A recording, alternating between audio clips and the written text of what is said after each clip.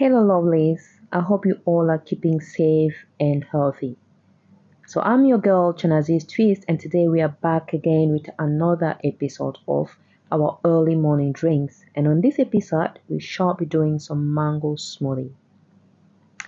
So, for this mango smoothie, all we need for the recipe is a large size mango. I prepped my mango um, a few days ago and had it frozen.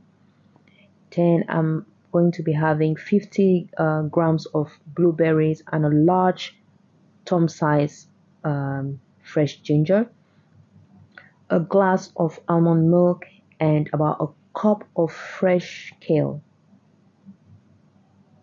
So we are just going to go straight and prepare our kale and ginger. Um, so let's just um, remove the hard stem from our kale like so you can go ahead and use a knife or you can use your hands. I usually prefer using my hands sometimes because you know i feel it's easier and faster rather than using the knife and wasting time.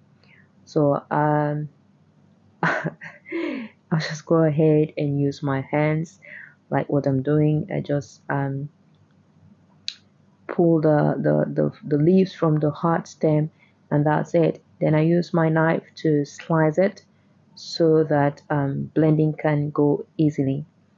Yeah. So now once we are done with that, then we'll go ahead and slice our um, ginger. Now without wasting time, let's just go straight and put everything in our blender. Let's start by adding our ginger. Um, I did not peel my ginger because the skin, the peel is also nutritious.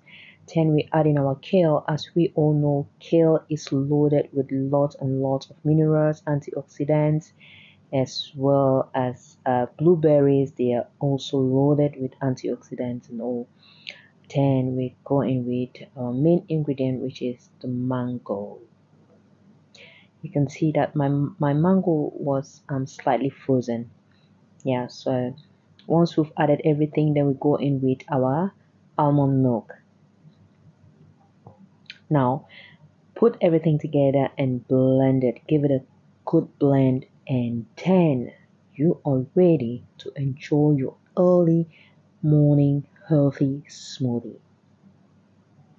It is loaded with vitamin C, with vitamin K, with oh my god, it's just loaded with antioxidants.